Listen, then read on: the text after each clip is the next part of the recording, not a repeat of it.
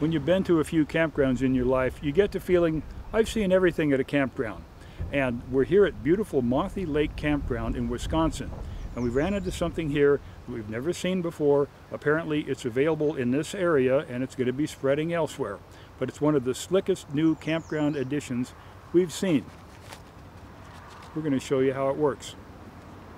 Most campgrounds want you to use local firewood to avoid importing insect pests. The new self-serve firewood vending machines from the Firewood Express are an easy 24-7 way to stock up on your campfire wood.